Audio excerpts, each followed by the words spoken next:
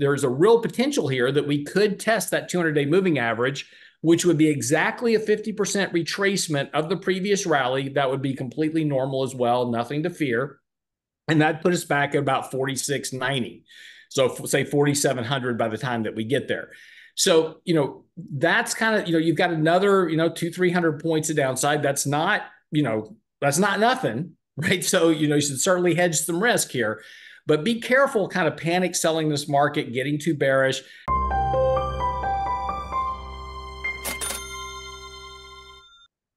Welcome to Thoughtful Money. I'm Thoughtful Money founder and your host, Adam Taggart, welcoming you back here at the end of another week in the markets. Uh, pretty interesting week. We're joined as usual by my equanimous friend, Lance Roberts, portfolio manager from RIA. How you doing, Lance? I'm good. Uh, you're going to eventually run out of small dinosaurs, so you know.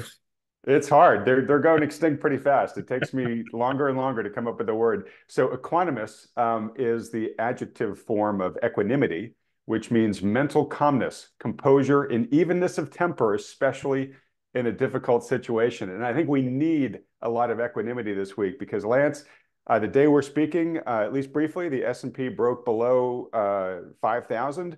Uh, mm-hmm. we had Israel uh, retaliate against Iran for retaliating against Israel, uh, but Israel actually blew some drones into actual um, Iranian soil. Um, we also uh, have a new Taylor Swift double album that launched today. So, look, Lance, has the end of days arrived? well, you know, first of all, you know, if you know, I, am kind of embarrassed for Israel. I mean, I know I know why they did it, but you know, when I used to fight back in the day, um, you know, you'd always have this this opponent that would always kind of strike fear in your heart a bit, right? And so I always dreaded those fights when I had to go into them. And it was always interesting because more than once I would go into that fight and it would be such an easy fight. I, I just like, I, I, was like, you know, I was so worried about this and it turned out to, about, uh, to be the case. And it was kind of the case for, for Israel. They shot off these drones. And it was like, here, I'm just going to show you I can send some stuff your way, but we're really not meaning it. right. Yeah.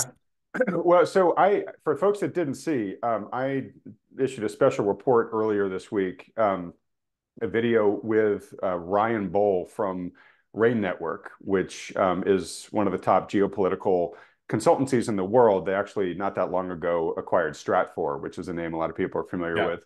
Um, and Ryan is their um, Middle East uh, specialist. And so, um, if you're trying to understand kind of the roots of what's going on right now between Israel and, Iran, I thought that was a fantastic discussion. Ryan did a really good job of laying out just sort of the whole background context, the facts, the pros and cons of each side's positions, trying, I think, to be, I think he did a great job being sort of as unbiased uh, and nonpartisan as possible um, about a very sticky, very emotionally charged topic. But he basically said, um, he, he predicted that Israel was going to have to do something, um, but he predicted that it was going to be um, uh, as moderate as they could make it. Uh, because really, both sides don't have an interest, a strategic interest yeah. in escalating this thing into a full-blown kinetic war. So there's a lot of political posturing that they have to do to make their, you know, each each of their constituencies know that they're not pushovers. Right. And this is exactly what you and I talked about last Friday when this was kicking off. I, I said, I said, both sides have to puff up their chest and, you know, they got to pound the table and, and do all this. But at the end of the day, nobody's got an appetite for a kinetic conflict. Right. And, and especially kind of the traditional backers of both sides. Right. So the Americans have basically been telling uh, Israel, look, dudes, like we're, we'll, we'll, we'll keep defending you, but we're not going to support you know, right. a, a, an offensive maneuver. And I think, you know, it sounds like Russia is saying very similar things to Iran, which is, hey, we're kind of embroiled in Ukraine right now. And we actually have, we've got a lot of ties to Israel, you know, culturally. And so, you know, don't, don't let this thing go bananas. Right. And then look, it's, it's, it's not in anybody's, you know, best interest. Look, and this goes back, you know, look, I was, I was actually talking about this the other day as uh, on the radio show saying, you know, yes, we've been in world wars before, and we were in World War One, we were in World War Two, and we know how those things turn out, and we know how devastating those things can be, and it really is ultimately the last choice that anybody wants because while it may be great economically long term, right? Because you got to rebuild everything, the destruction process, the loss of life, all that is is is, something that is not popular with countries that are in the middle of that. So you know, and this is what we're saying last week is that everybody's got to posture themselves. Everybody's, you know, nobody can can can kind of roll over and be the, you know, okay, fine, you did it. I'm not going to retaliate. They can't do that. But at the same time, nobody really wants to go to that next step of this. And, and I'm not saying that it can't happen. We've been in world wars before, but there's not a huge amount of appetite for that from any government. I don't think so, but but I would say that there's there's not a lot of appetite, especially in the U.S., for even the initial steps along the way to that, right? So, you know, in, in the conversation with Ryan, we sort of talked about the the military capabilities of both sides, and he basically said, look, you know, Israel's the nuclear power here and they do have a they do have a, a bigger war machine, a more effective war machine than Iran. But he said, but what Iran can do is it can make the rest of the world feel pain by you know curtailing uh, key shipments, especially oil, through the parts yeah, of the Gulf. See, I, I, I, disagree with that because you know in the U.S. now we we yes we still import some oil, right? But we have so much production of oil in the US. And I believe, if I'm not mistaken, that Doomberg was even talking about this previously in that interview he did with you. We have enough energy and capability to, to create oil here in, in the United States to be completely energy independent. We don't need oil from Iran. You know, specifically, I mean, we'd have to change policy in Washington right now, but there's plenty of reserves in the US to fulfill all of our own oil needs. Yeah, I, I think in the in the big picture, I, I think yes. And and again, I'm no oil specialist. One, there's all sorts of different you know degrees of grades of oil, and and you know refining comes into the mix and all that type of stuff. But to your point, to do that would take a lot more time than the current administration has before the election, right? So that's where I'm going, which is they right. don't want anything right now that's going to continue to send the price of oil higher before the election. And so they're right. looking at what's going on right now with rising oil prices and just a general higher risk premium in the world and saying, hey, this is not the time for us for that right now. So anyways, look, look, I'm just underscoring your point, which nobody wants yeah. this thing to keep going. Yeah, exactly. Well, and the current administration has tons of problems right now heading into the election. And so to your point, you're absolutely right. They don't need something else. They've already got enough problem with just, you know, general approval of the economic condition in the US. It's going to be a tough fight at the polls come November. Right. And this is a big, sadly, it's a big one, right? I mean, right yeah. now at the top of the list, as normally is the case, but I think especially so now, is the economy. You know, in, in, fact, the, the new buzz line is not it's the economy stupid, it's inflation stupid. so if you see gas prices heading higher into November, that's like kryptonite right now um, right. to, this a sitting administration. So, okay. Well, look, um, real quick, folks. Um, again, if you didn't watch that video with uh, Ryan on the Iran-Israel conflict and are interested in the topic, uh, go watch that uh, soon. It's it's definitely very uh, it's an excellent video. Um, I also just want to remind folks um, for all things thoughtful money related, uh, go to thoughtfulmoney.com. Um, I, I, mentioned last week, I mentioned that, that we launched our new Macro Pass service for our premium newsletter subscribers. Uh, we launched it with Tom McClellan's April um, McClellan Market Report, which was excellent.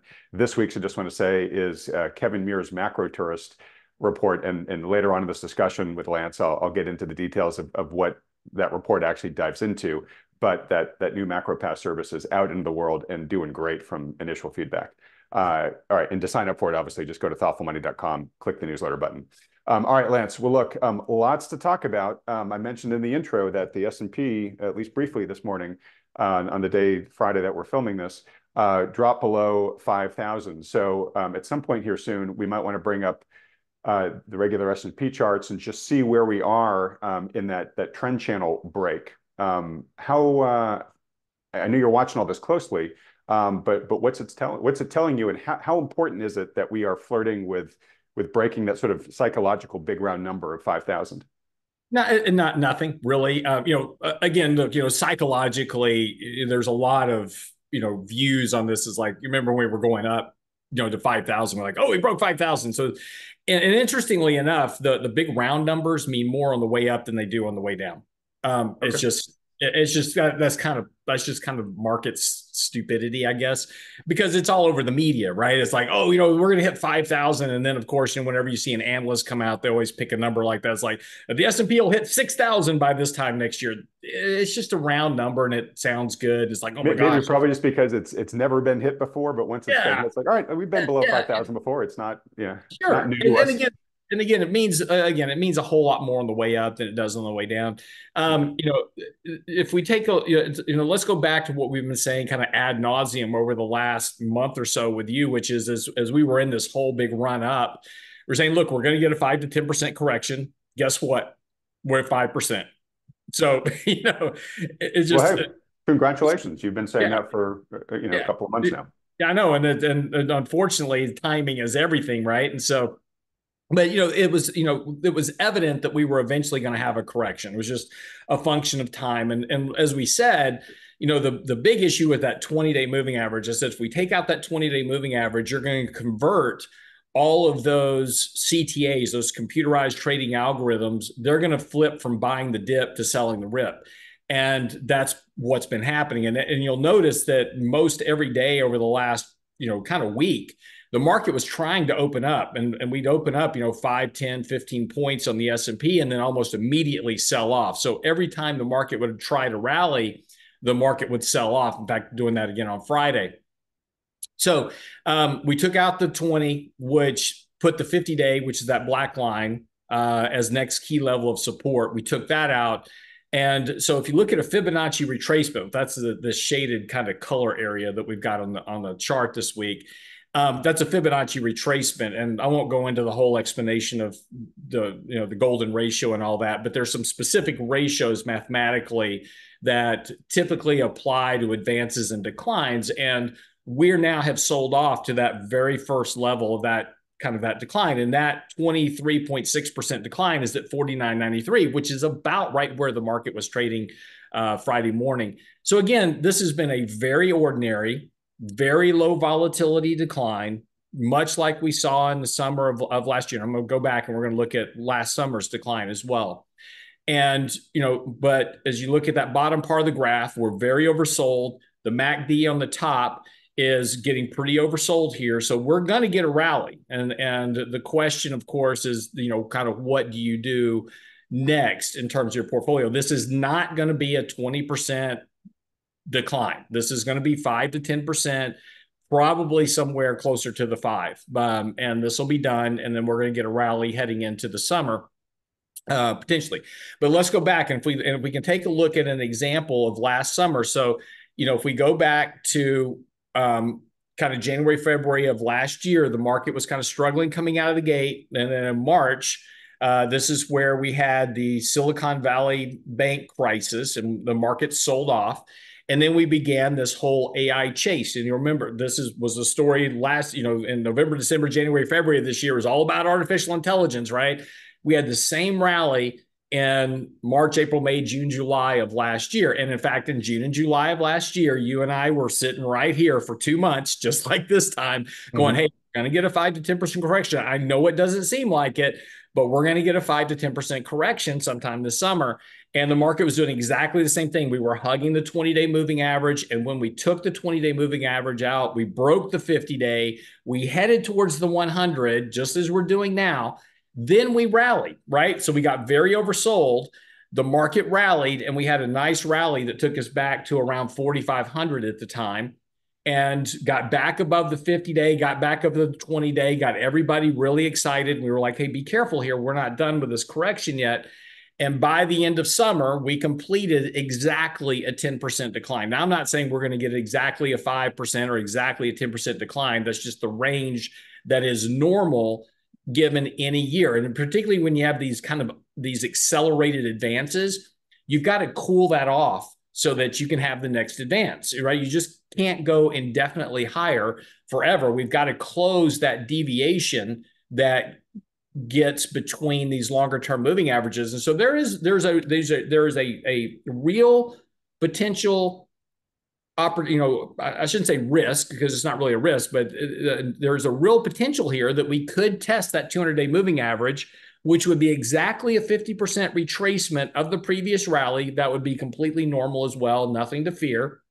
and that put us back at about 4690 so say 4700 by the time that we get there so you know that's kind of you know you've got another you know two 300 points of downside that's not you know that's not nothing right so you know you should certainly hedge some risk here but be careful kind of panic selling this market getting too bearish um, there's a lot of stocks. Now, I'm going to show you just a couple of stocks as an example. I'm not making recommendations. I'm not saying go buy these things uh, at all, but I'm just I, I just want to use Apple as an example because it's a you know it's a big popular stock and everybody knows what it is.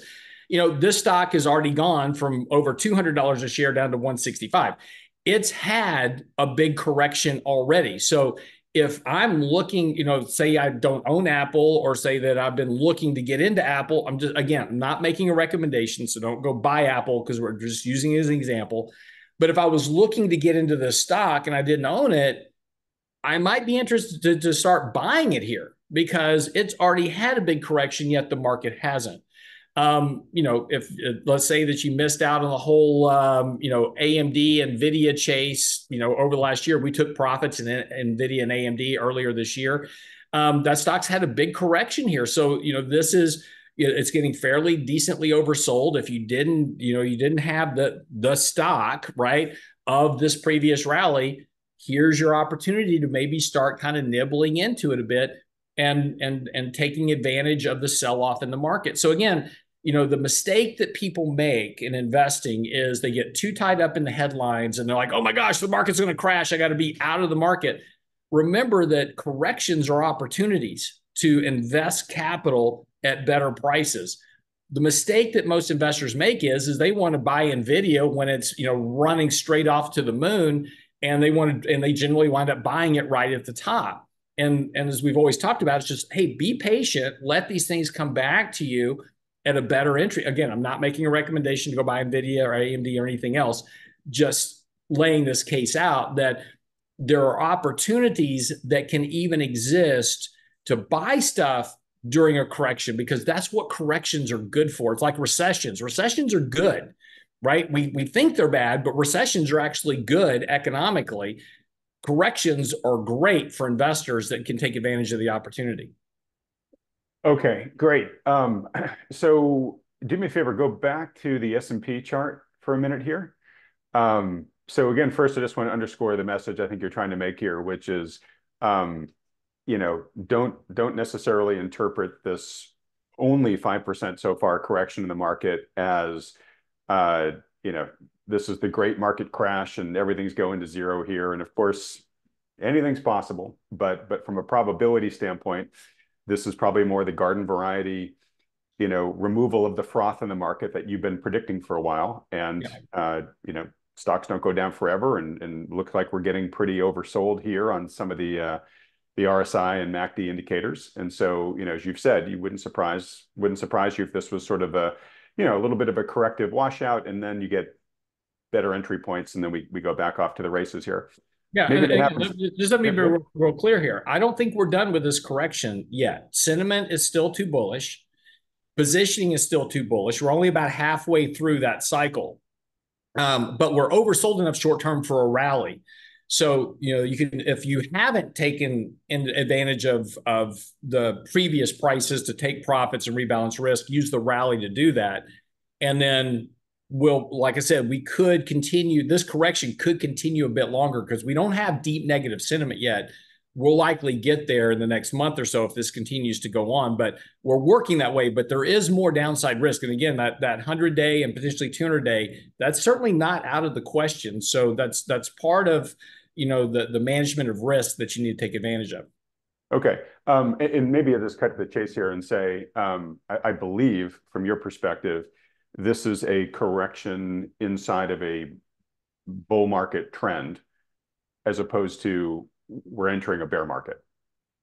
I apologize. One.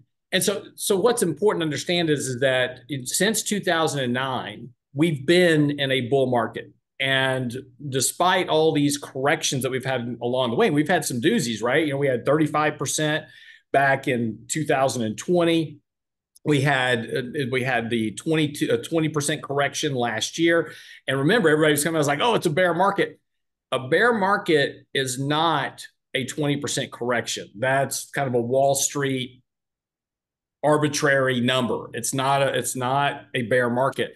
A bear market is when you reverse the previous bullish trend. So like in 2007, 2008, we completely broke all of the bullish trend that started in, in 2003 through 2007.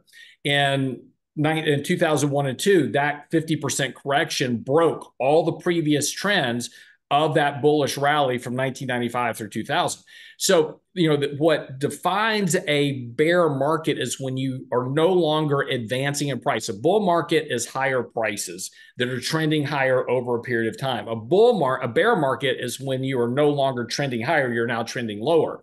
And we've never done that right? Since 2009, even in that correction that we had in, in 2020, we briefly broke that trend line, but then closed back above it the next month. So it never validated itself. It was just a test of that long term bullish trend. And so that's where we are. In fact, we're on a monthly buy signal that just flipped going back from the peak of the market in January of 2022. So that that alone, that one signal alone suggests that we could see this bull market continue that we're in right now um, it's going to have corrections, right? We could correct back to that trend line again. That would still be just a correction. But that monthly buy signal suggests that whatever correction we're going to have now is an opportunity to put capital to work because we're in whatever this bullish trend is going to be. It's going to last for probably another couple of years. Okay. All right. So that's the main point I was sort of trying to underscore here, which is, you know, what you're not saying, and again, we're only down 5% right? Yeah. You're not saying this is a run for the hills moment for investors. You're saying it's a, hey, just be cautious in the short term. You know, definitely some hedges still might make sense here, but but more or less be positioned for this to bottom at some point and maybe be ready to buy in place. Yeah. Yeah. And be ready to buy and and have your shopping list ready. Okay. So, and that's what I meant by targets. Yeah. Get your shopping list ready get your shopping list ready of all those companies that you've been wanting to buy and have missed out on opportunities, whatever it is. This is going to be the time to buy them. Okay. So, um, can you go back to the other S&P chart that you had? Um, so in in previous versions of this chart, um, you had had kind of that blue channel that that stocks have been trading in since November. You don't have to put that back in if if, uh, it's not easy. But uh, you mentioned uh, when you went back historically to the beginning of last year, right right around the the banking crisis, um, coming out of that, we fortunately for the markets, we had this AI, you know, boom, right? This right. this boom in AI mania, right? And that pretty much drove things uh, into, you know, the October correction. Um, then we came out uh, in in November, which was basically, I think, a recovery. So if you can scroll to November, um, we we had a recovery off the the October lows, right? right? And then, right then in early December, right, right when we'd kind of gotten back up to where the market had peaked out in, in July, then we had the Powell policy pivot, right? That's right. when Powell came out and basically told the markets to expect what it had been asking for all year long, right? Which is, hey, we want we want to know that you're going to pivot. We want to know that rate cuts are coming. And coming into 2024, like the market was expecting, you know, as many as like seven rate cuts in 2024, right? right. So, you know, we had two big narratives, basically, is what I'm saying, that drove the action over the past year. One was the AI mania. The second was basically rate cut mania. Um, now it's looking like we're not going to get nearly as many rate cuts as folks initially thought. Um, you know, inflation is is at least the, the, the narrative right now is shifting to, hey, you know, it's it's looking like inflation is going to be stickier for longer. We're hearing folks talk about the reflation trade, which I know you've got opinions about, Lance. Um, so my question is, is uh, are we going to need a, a, a, new story coming out of this to power stocks higher the way that, that we've gotten used to over the past year and a half? Or could we be looking at a more volatile market going forward where there isn't kind of like a, you know, a, a big dominant hope out there to drive things? No, I mean, look, the, the fundamentals haven't changed. Um, you know, earnings are still strong. Companies are still generating earnings. There's, you know, the, the economy is going to slow down. And that's, you know, earnings are going to come under some pressure. So will we continue to have this kind of nonstop advance that we saw in, you know, from November of last year till uh, this month. Um, you know, it's it's going to be probably more of a of a normalized market. Um, if you take a look at the top of this chart, the MACD is is over is getting as close to being as oversold now as it was back in October, November of last year. And that's what I'm saying. We potentially have some more to go on this correction. And we get get we got below the 200 day moving average, uh, you know, last October as well. And that was where everybody's like, oh, I see the bear market's back. And then it just took off running. Right now, don't forget, you don't have corporate buybacks. Corporate buybacks are blacked out. That's 100% of almost 100% of your net equity purchases for the market. They're blacked out uh, for the next two weeks as we go into earnings. Now, once earnings go out, that whole buyer comes back into the market, and and buybacks are going to continue to be a major player in driving asset prices higher. Liquidity flows are still high, investor flows are still high, foreign inflows are still strong. So again, the backdrop of liquidity to the overall market is still going to be there. That's that's not changing. Now, the the one thing that you know could change here is you know we did see a, a rather sharp drop in bank reserves as something I was tweeting out this morning. This is the first time that we've seen a sharp drop in bank reserves now in quite a while. Um, and again, this could be just a one-off anomaly. Um, it could be something you know more important. But I mean, we've seen these we've seen these drops before. Uh, in fact, we saw one back, you know, uh, in, in kind of May of, uh, so this was kind of March of last year during the Silicon Valley Bank crisis. We saw a drop, a similar drop in reserves, and then reserves balanced and then started going back up again. And that was what was propelling the market higher. So this correction is running right along the correction in bank reserves. This is something the Fed's been paying attention to. Why the Fed keeps talking about cutting rates is to make sure the banks have plenty of liquidity. So, you know, the the uh, the reversal of rate hikes into rate cuts is if this will continue, rate cuts are going to come in July or August. Um, if not, maybe we see rate cuts towards the end of the year. It's also why they're talking about reversing the quantitative tightening back to quantitative easing to provide more liquidity to the banks. But this is your driver. Um, banks loan the money to the hedge funds, to the pension funds, et cetera, for leverage. That's where this comes from. And that's why bank reserves are important to the market. All right. And I'm going to steal the screen just for one second because sure. I had a similar chart here uh, so this is from Bloomberg, which is showing that um, the reserve impulse uh, is has gone negative, um, and that that is serving as a short-term headwind to stocks. Uh, so I just recorded an interview yesterday with Simon White from Bloomberg uh, about this, and um, he is basically saying that uh, you know th this is it's an important development that yes, liquidity has been net rising liquidity has been driving uh, you know, the, the action uh, mm-hmm. in a huge way, as we've talked a lot about. Um, and, and, the fact that it's actually you know gone negative again here um, is is material. Now, there's a lot of factors that are still influencing liquidity, um, but this is an important one. Um, and uh, you know, as as we get to potentially the time period where the reverse repo program is drained and whatnot, and and of course the BTFP uh, has stopped sopping up uh, uh, you know, uh, giving banks relief.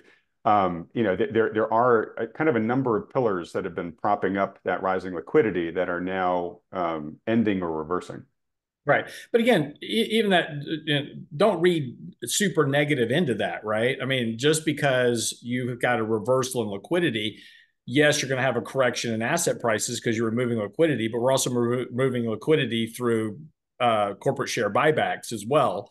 So you've got kind of this dual lever that's that's pushing on stock prices. But as you go back to your chart, there's been plenty of times we've gone negative on bank liquidity, and we had five or ten percent corrections, and that's complete again completely normal. Um, even during 2022, liquidity was whipping back and forth, and you would have a sell off and then a massive rally. Then you have a sell off that was all blamed on the Fed, you know, not hiking rates or not cutting rates, right? Um, and so, yeah, we did work our way down to 20%, but just because liquidity goes negative doesn't mean the world just falls apart. So, you know, it's very important to put context around these type of, of analysis.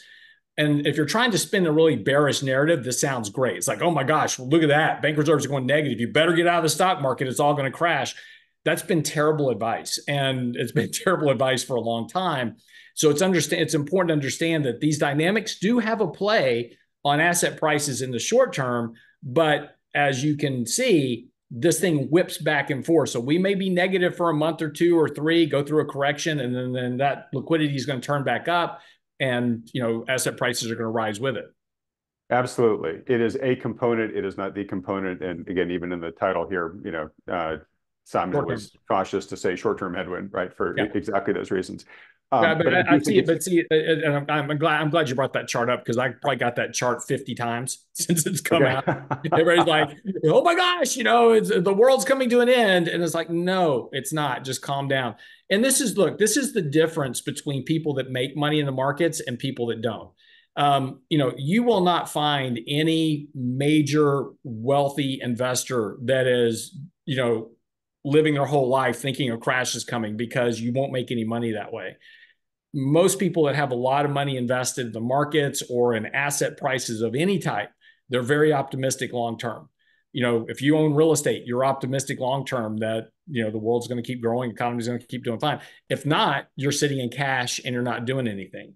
Right. So it's always important to measure you know your analysis with what actually happens in the market it's great you know this really bearish stuff is great for headlines it, it, gets views it gets clicks it scares the crap out of you and then so you don't do anything right and then the market takes off running without you and you're like yeah but everybody said it was going to crash and it didn't crash we've been hearing the market was going to crash since 2009 right i mean every time we turned around since 2009 the market was going to crash for one reason or the other and it never occurred i mean you know you can just go back and look at you know a lot of these guys that were pitching the crash of the world, and it's just never happened.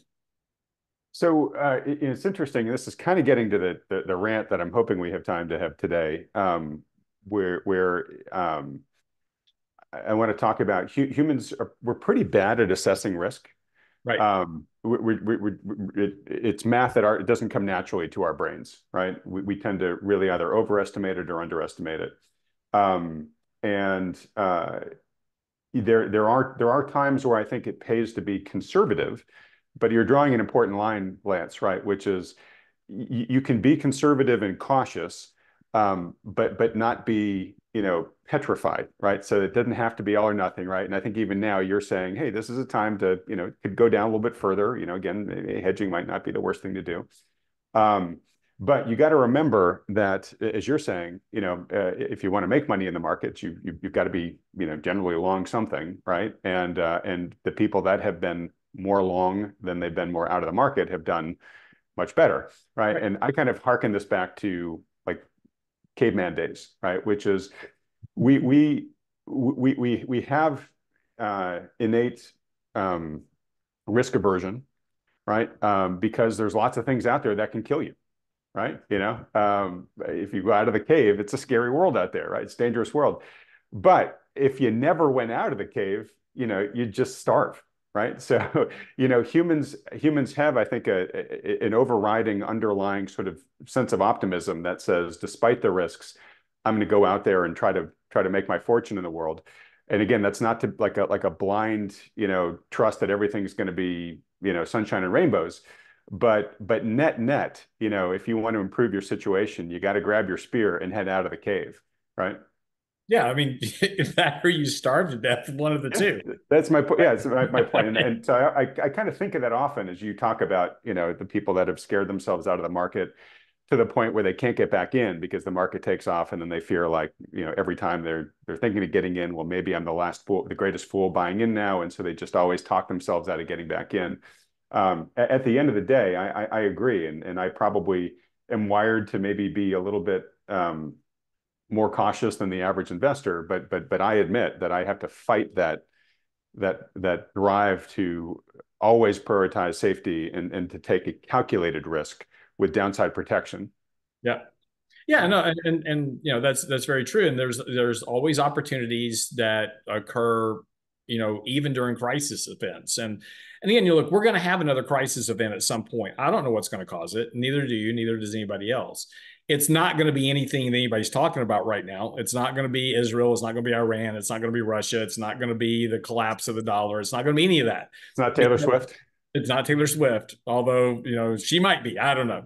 Um, when she's president, we'll talk about it. So, um, but you know the the you know you know, nobody saw the housing crisis coming to the point that it did, right? I mean, you go back and look at the mainstream media, there were a lot of people talking about subprime, but nobody really understood that issue and had it and what and the point about that was is that the trigger for that was the one thing that nobody saw which was the shuttering of Lehman, putting forcing Lehman to bankruptcy. Nobody saw that coming. And it didn't matter how, you know, like subprime's a problem. Yeah, but had we not shut bankrupted Lehman and shut down the counterparty trading, the markets would have probably worked their way through that subprime crisis. And you know, we would have been a bear market for probably two or three years. Markets would have probably gone nowhere but it wouldn't have been a 50% decline. It would probably been 20 and then a rally, then another 10 or 15 down, then another rally, that type of thing. It'd be a very different environment. But when we bankrupted Lehman, it just shuttered the whole market. And that's what the, the vast majority, about 60% of the entire decline occurred post Lehman. And so that's the thing that that will get you in the markets and you can't prepare for that because you don't know that that's going to occur. And we just don't know that's going to happen until after the fact. So, you know, this and, and that's why it's important to be able to react to markets. But again, as we talked about before, the markets are up 500% since the 2009 lows. So, yeah, let's say you saw you let's say you were one of the, the guys that you saw this whole thing coming, you got out of the market in 2008. Wonderful. You missed a 50% decline. You never got back into the market. I can tell you there's people like this because I, I meet with them on a regular basis. They're still not in the market and they've lost that 500% return in the market to yeah they protected themselves from 50% decline and they've missed 500% coming out of that so again you know, as we talked about before sometimes you know trying to avoid the risk is worse for you than just going through it right? Just go ahead take the 50% decline. It ain't great but long term you're going to be better off than having to you know get out avoid it and then never getting back in. Okay uh, get the point you're making. I also just want to underscore, I don't think you're making the point, hey, don't have risk management. no, I'm not. I'm just saying it's like for a lot of people though that I meet with, they would have been better they, off. They would have been better off. Yeah, I just not totally doing anything. Just if they had just rode the crisis out, yeah, it'd be terrible. But they'd be better off today than they are because they never got back in. Right. right? That's, that's that, that, that, that's yeah. the investor equivalent of our caveman who never left the cave. Right.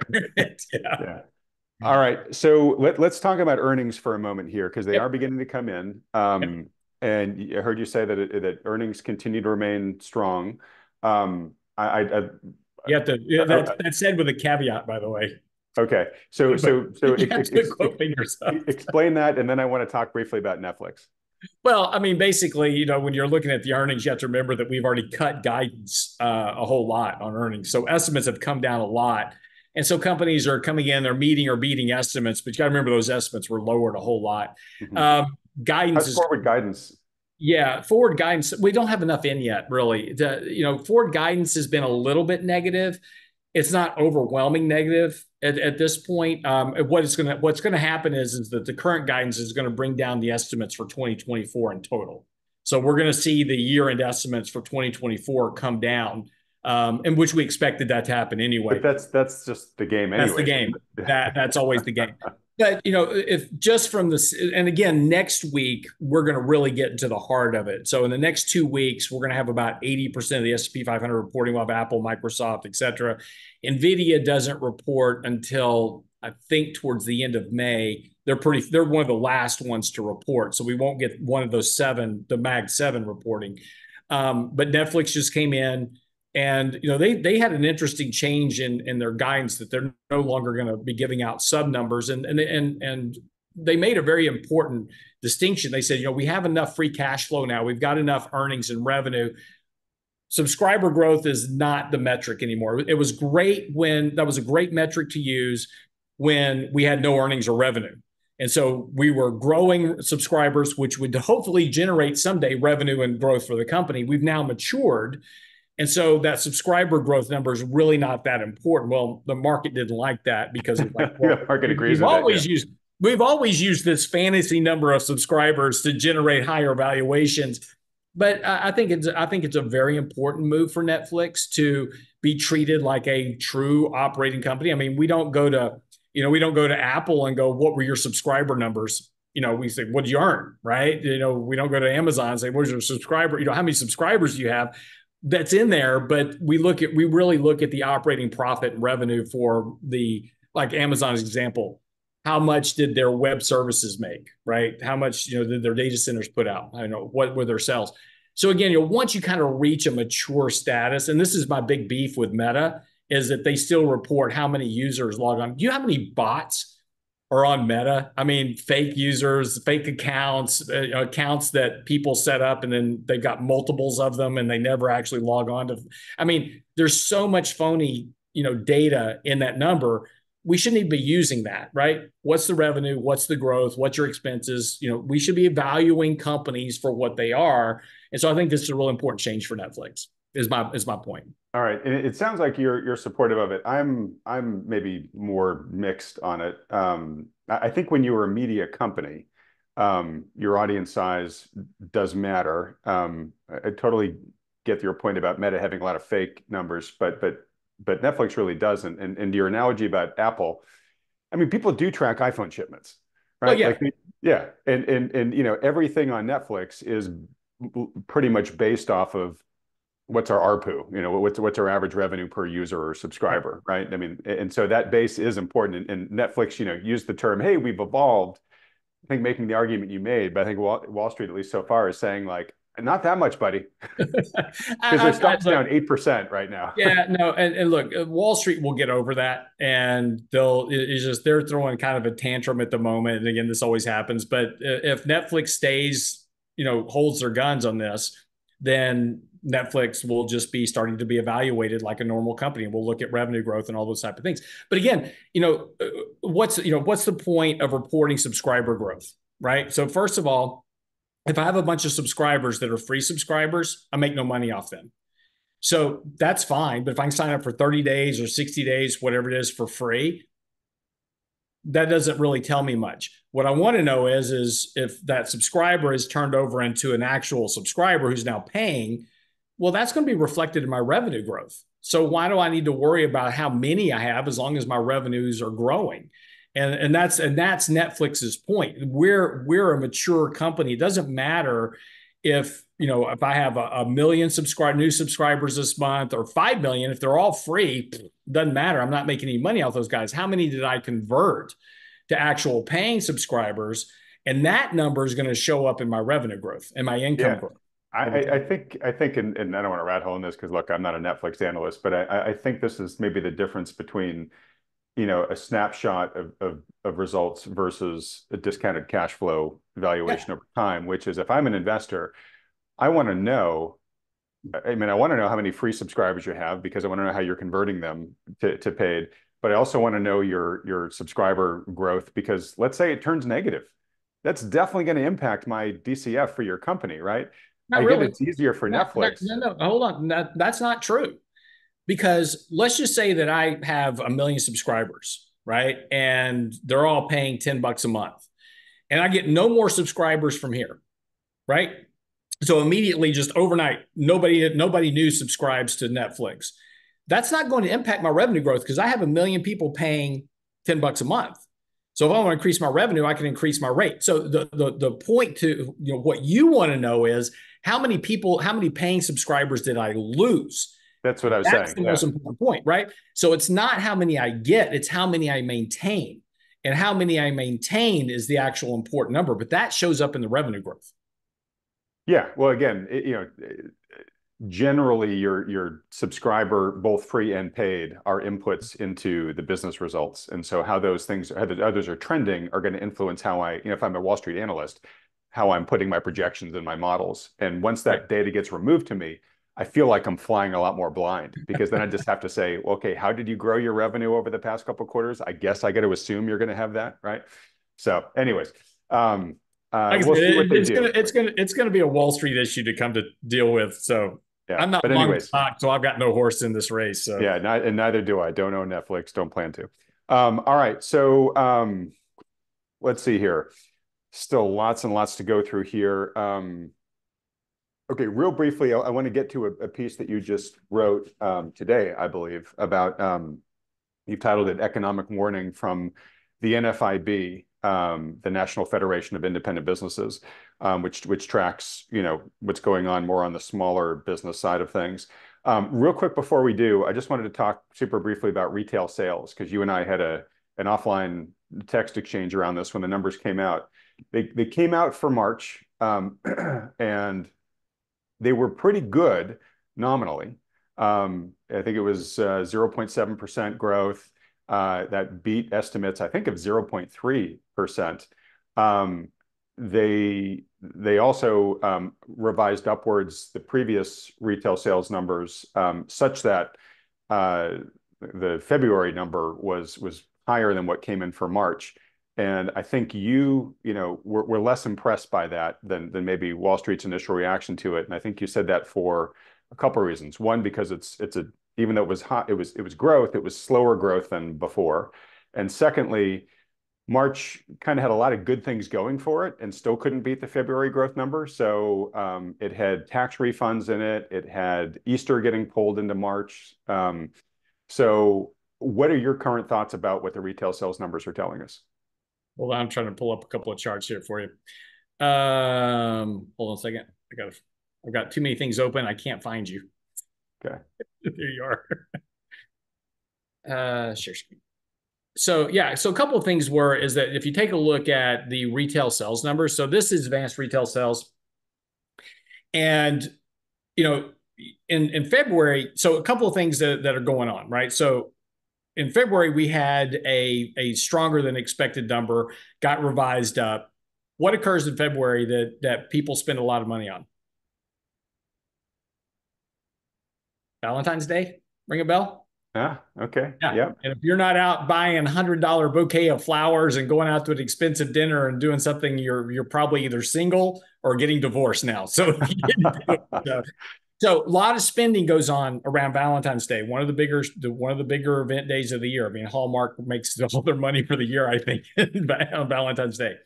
So normally, then, so so you had a bigger number in in February on a growth side than you had in March. But also remember, we're also coming after four straight months of decline, and so you had declining retail sales in October, November, December, and January. Big drop off in January.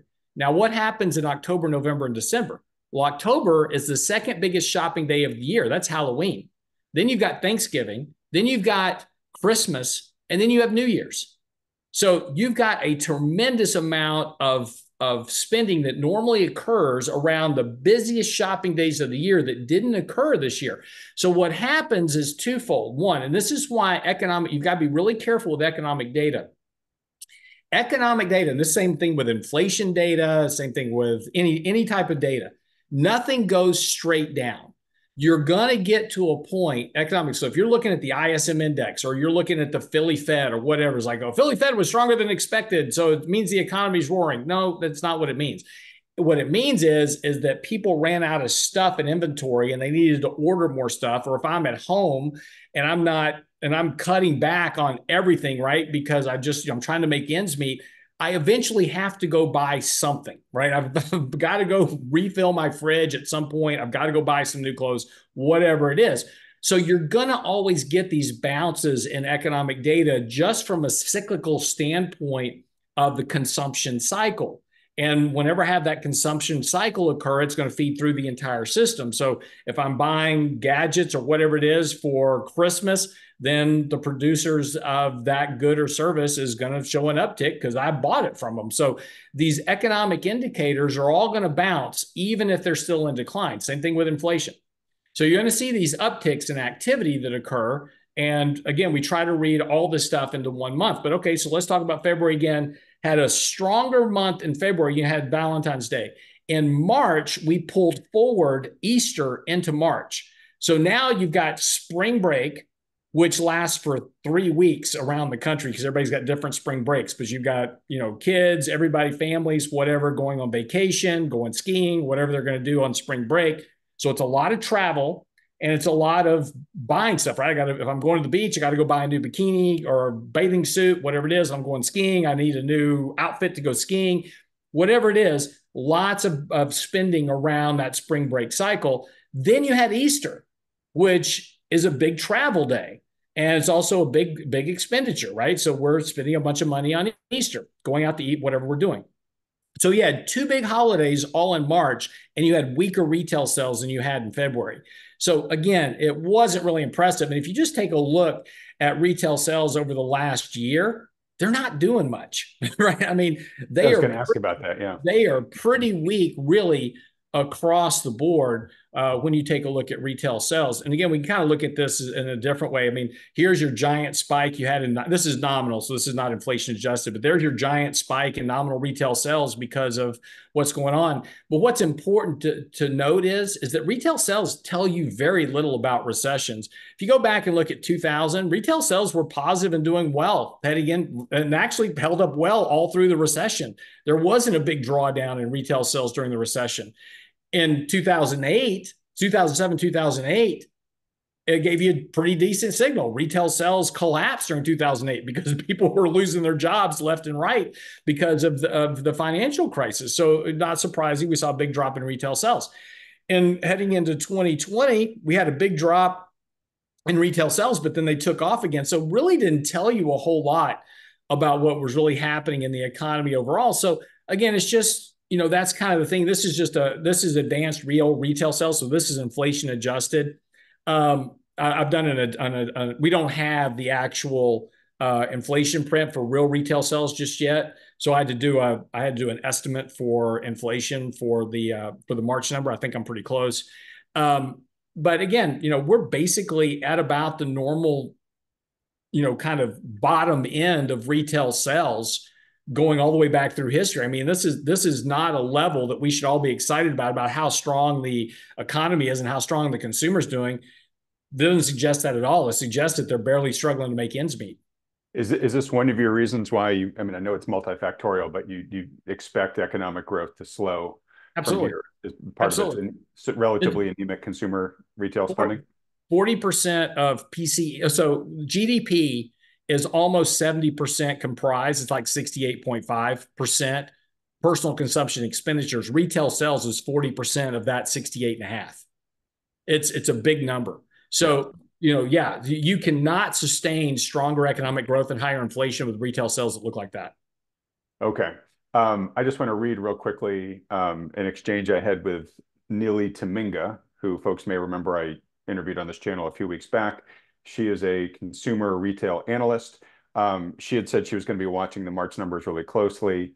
Um, she, I asked her what she thought. Here's what she said. She said, um, I'd say March came generally in line with our expectations. As you know, we were calling out all the positive forces that would influence the number.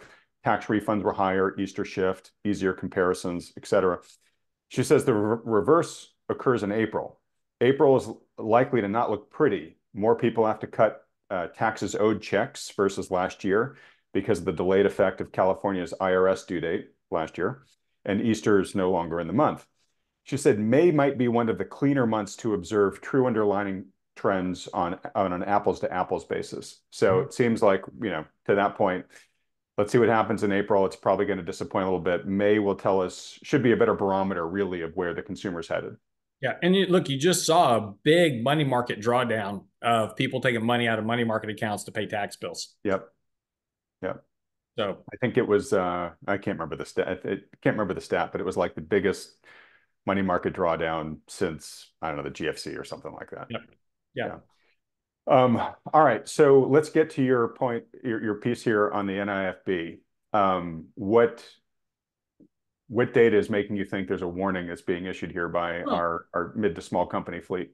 Well, and again, you know, it's just a, it's this is something that nobody really pays much attention to, and in the in the financial media, it doesn't get a lot of press coverage. And you know, I get it. You know, it's not really exciting data by any stretch of the imagination, but you know, it's important to remember that the small businesses comprise 50% ish of the entire employment in the country. So they're very important economically, and they spend a lot of money on capital expenditures. They spend a lot of money on you know buying products, goods, and services from other businesses.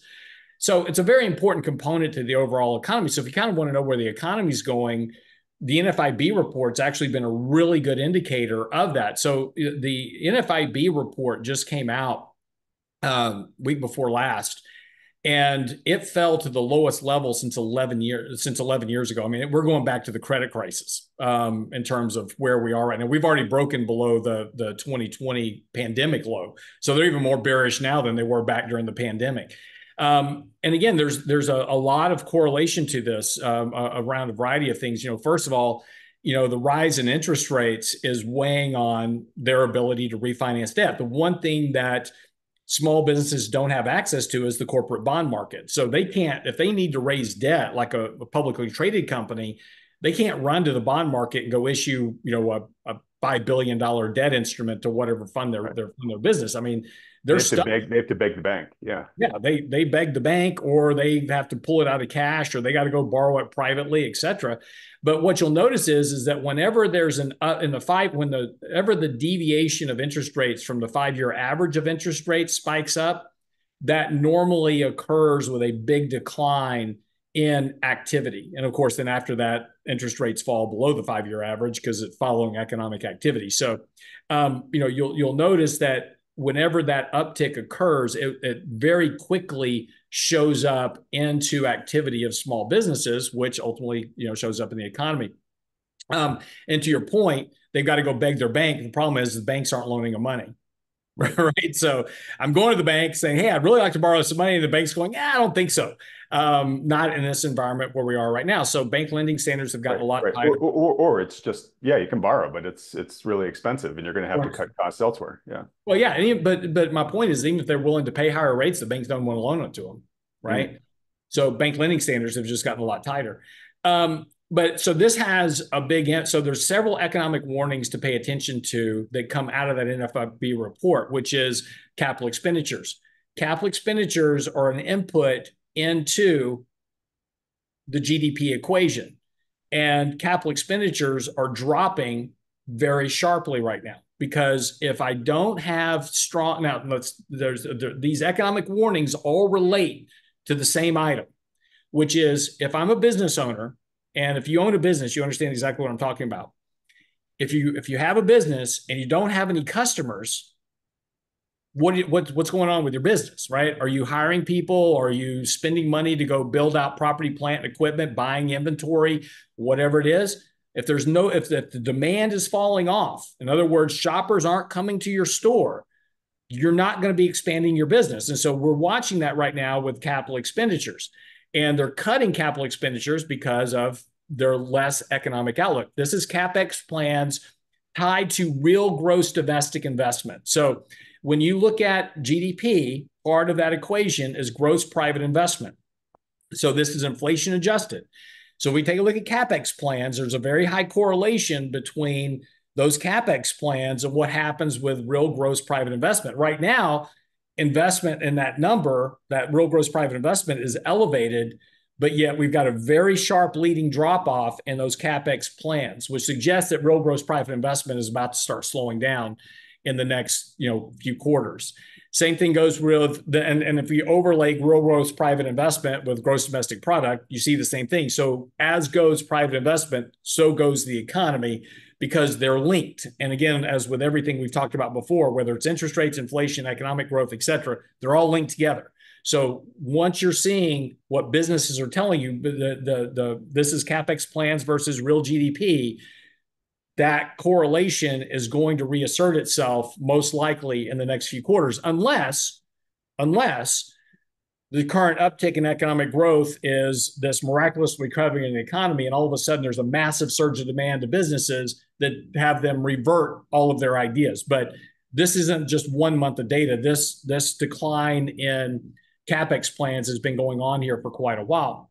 So if we take a look at so moving on to the next economic, so capex is one. That's economic warning number one. Number two is sales and cost of labor. And so uh, the NFIB does their what they call their top three concerns, and they have a whole list of concerns. Are you concerned about the cost of labor? Are you concerned about inflation? Concerned about taxes, government regulation? They ask them all these questions. So if we take a look at things that directly affect businesses, right? So are you selling stuff, right? Or is or you have good sales or bad sales?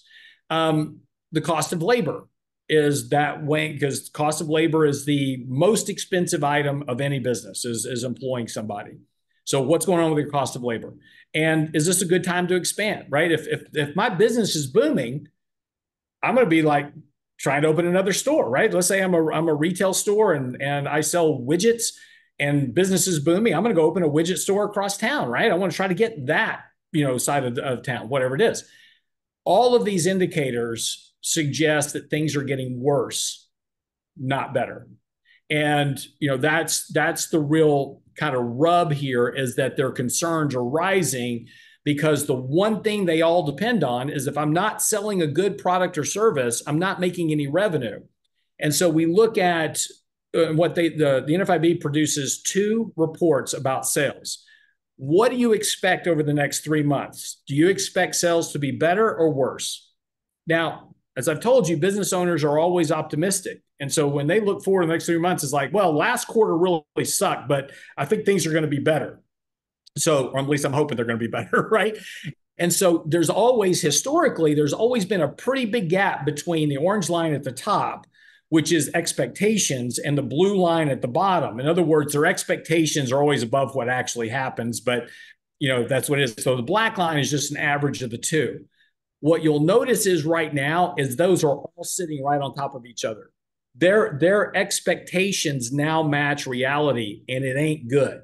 We're at we're at some of the lowest levels in sales and expectation of sales. And again this is 50% of your economy making retail sales. Is at some of the lowest levels we've seen since 2008 during the financial crisis and during 2020 and so if we take a look at av- that so let's take that black line. That's the average of expected and retail sales and i've overlaid that with real retail sales you mean to tell me if you look at that chart that tells you that the economy is booming. So right. nothing, nothing, no. to, and, and this is why, you know, so if I don't have sales, I'm not going to do capex. And if I'm not doing capex, I'm not employing people. And so if you'll notice, we've seen a very, very rapid decline in the in the percentage of businesses that are expecting to increase employment. And that's not surprising. And what's interesting is, is there was this big, everybody was focusing on small businesses, intent to hire. And it was very interesting because this graph was coming out like every month, you know, the, during, you know, coming out of 2020. It's like, look at small businesses. They're just going crazy trying right. to hire people. But yet the black line at the bottom is what they actually did. So when they were taking the survey, it's like, oh, you know, Adam, are you planning on hiring anybody? Yeah, I'm, I'm going to be, I'm going to be hiring some people because man, this economy is just going crazy. But did you hire anybody last month? Well, I hired one. Yeah. you know, big difference. Well, now all of a sudden that expectation is declining rapidly. And I suspect that we're going to get back to a fairly close correlation. Also, goes to show you about what's happening with workers' comp, big drop and what's happening with workman's comp. And if you'll notice, there's a very high historical correlation when economic comp drops, or workers' comp drops, I mean, sorry, not economic. When workers' comp drops, so does economic growth, obviously, because I don't have any money to spend. And, and so all of this is starting to really wind up into this whole production cycle. It's great that we're a consumption based economy. 68 over 68%, almost 70% of our economy is consumption based, but I have to produce first in order to get a paycheck, in order to go buy stuff, which creates economic activity, which gets businesses to hire more people, to produce more product, increases wages, creates more demand, which requires more people to produce stuff. And that's the virtuous cycle of economic growth. What the NFIB is telling you right now is that is going in reverse, not in the right direction. All right. So um, I don't know if you have any charts that specifically speak to this, but it's intimated, I think, by a lot of these charts, which is all right. Look, if I'm if I'm going to be making fewer capital investments in the future, if I'm going to be not raising workers' comp as much, um, presumably they're thinking about maybe even shrinking their workforces to save yep. costs, especially as one of their top concerns is the cost of, of employees, and they're worried about sales. Right? right. Uh, as you mentioned, I, I, think I think it's more like sixty percent of jobs are provided by the small to medium businesses. Um, so uh, it's a lot. It's a lot. Uh, and then also the next topic we're going to talk about is is, is rising um, rising rates and stickier inflation right? Which is the, longer we're at higher for longer inflation and cost of debt, mm-hmm. the worse the situation gets for these guys, right? So, what's your general level of expectation about um, the potential for job losses going forward in this cohort? Well, so remember, so first of all, they never hired like they said they were going to, right? So expectations were well ahead of actual hiring. And that's because businesses are very cost conscious at the end of the day, right? I have so much revenue, I've got to make a profit. I need. But to... when you're when you're small, you can't labor hoard as much because you just can't afford to. Yeah. Right. And the, and the same thing occurs though. It, what's important here is is that they are going to hang on to their labor that they have as long as possible. So when as economic activity slows, you know, the small businesses, they're not quick to go lay off all their staff because first of all, they don't have a lot of staff. A vast majority of the businesses in the US have less than 10 employees. So if I lay off one person, it's a tenth of my staff, right? So but, I mean, but this this is kind of my point. If they all yeah. decide just to say, "Look, I'll just get rid of one," it's ten well, percent of the workforce remember, gone. A big chunk of them have only have five or fewer employees, right? So, and, and then, then, a lot of these businesses, five percent reduction, right? Right, and some of these businesses, it's just you, yeah, so, yeah. you know. So the the point, so you know, yes, you know, this is why when we look at jobless claims and and those type of things, they really don't tell us the real state of the economy because again there's a lot of kind of guesstimation that goes on with the jobless claims numbers who files who doesn't are they reporting you know that type of issue. Uh, and we focus on the big companies right? Oh apple laid off 10000 people or that's not a good example because they didn't do that. Tesla just laid off 10% of their workforce. Okay it's a lot of people right? Because it's a big company they lay off a lot of people it gets a headline. You know they laid off 10%. Again, I lay off one in my my business of 10, 10 employees, right? That's the same 10%, right? It just doesn't show up in the data the same way. Mm-hmm.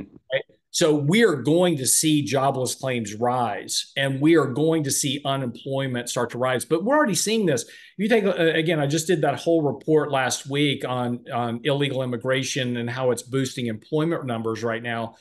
But you take a look at the number of full time jobs versus part time jobs, full time employment as a percentage of the population. That's dropping markedly already. It's telling you that the that these businesses are already cutting staff. It just hasn't showed up in the the the, the Bureau of Labor Statistics data and the way that they account for things.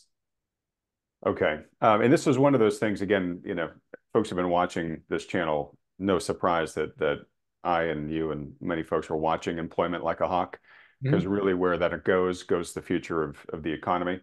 Mm-hmm. Um, but but you know, I've talked about how the unemployment rate. I'll try to see if I can pull up a chart here before we're done. Um, that uh, it, it's one of those things where it, it it it's pretty low and steady right up until we hit the next recession, and then it just falls higher, right? Yeah. And um, you and I have talked a lot about the the skepticism that we have for a lot of the official jobs data. Um, and it, it's just this is one of those things that I think could get out of hand, go from good to bad way faster than most folks expect. And and right now, everyone's conditioned that like, hey, we've thrown everything at this economy from higher interest rates to QT to you know whatever, and nothing nothing matters to employment. It just stays low. We've got this permanent low plateau of of you know Happy Valley uh, uh, unemployment forever. And, and I think that you know sets them up for a nasty surprise when when and if we get to this point. Yeah, and no, and we will. Uh, you know, look, there's no doubt that we are going to have a recession someday. I mean, it's just you know, it's just part of the economic cycle. It's going to happen now, whether it happens next month or next year or five years from now. That's the hard part. We just don't know that. We don't know what's going to eventually cause that trigger to occur that creates this sudden revulsion by businesses to just lay off a bunch of workers. And again, you know, we go back to you can't 2020 is not a good example of a recession because we force people to, to lay off people. I was like, you're out of business. We're shutting down the economy. Go home. Um, so that that that right there, that's a really poor example of that. But if we go back to and to your point, you know, you go back to any point in history, what unemployment tells you is again what I was saying a second ago is that corporations are really really reluctant to to let people go. And so something has to happen that all of a sudden companies are across the board go, yeah, we got to we got to immediately cut and we've got to get people, you know, we've gotten too staff, you know, we got too much staff, we got to cut back, you know, what's happening whatever whatever reason, you know, you go back to the financial crisis, you know that you know we didn't again and also you have to be careful here you know one of the important things to understand about this data is is that every one of those recession marks, we didn't even know we were in a recession till after the fact. So, you know, the way to look at unemployment is to take off the recessions for a moment and say, look, unemployment was rising. And that was telling us there was a problem economically. And then all of a sudden it starts to really accelerate. About six months after the fact, or nine months, the National Bureau of Economic Research will come out and say, oh, yeah, the recession started there. Yeah, so, over over here they'll tell you, oh yeah, you were in a recession yeah, back here. Right. Yeah. And so so when you look at this, it says, oh yeah, so as soon as that that unemployment spikes, you're in a recession. You won't know that until after the fact. But if you take a look at what's happening with the unemployment rate, it is creeping up, right? It has bottomed. It is starting to slowly creep up here, kind of like was doing in, in pre 2000 uh, pre 2000. If you go back to look at pre 2000, it was just kind of slowly starting to creep up a bit and then you know you had Enron and WorldCom, and the you know the wheels came off the cart. So we're we're starting to see some of that early evidence that the economy is really starting to slow down. All right. Well, look, folks, we'll just you know continue to keep our eye on this, um, but but this could very well be one of the canaries in the coal mine there. Um, but, all right. Let me just throw out my word of caution. Right. This doesn't mean go sell everything and go jump off the cliff because again, this could take six months, it'd be another year, It could be two years from now. I mean, the timing is the difficult part. The timing is the difficult part. And, and, and look, um, I mean, I think they more often than not, they, they are correlated. Um, but, but recession doesn't always mean horrific market crash either. Now, given today's valuations, personally, I think, you know, there, could very well likely be a correlation, but we could have a slow grind into recession um, that that leads to a slow bleed in markets, right? I mean, so to Lance's point, um, whether we go into, you know, if we go into recession, it may not be a sell at the everything event, right? It might be. There might be air pockets in there, but the point is, is you know, the the time-honored uh, disciplines that that Lance, you know, talks about week after week on on this channel will generally serve you um, very well versus a hey i saw a headline it made me scared i'm going fully to cash and then you know yeah. and we beat that horse plenty enough this time around. Exactly yeah just just just manage risk that's it. Okay so um, all right a, another risk um, so let's let's talk about bond yields. Um, okay. so bond yields continuing to go up um, uh, I, I think i don't know what they've done since the the Israeli attack on Iran last night. Um, but uh, as of before the attack yesterday, uh, the 10 year was at like 4.65%, I believe. So um, just, just do an exercise with me for a moment, Lance. Um, mm-hmm. So let's say that inflation proves more intractable. And, and let's say that the Fed, um, its hands do get tied this year. And it, it really can't do any rate cuts this year, it decides, okay. right?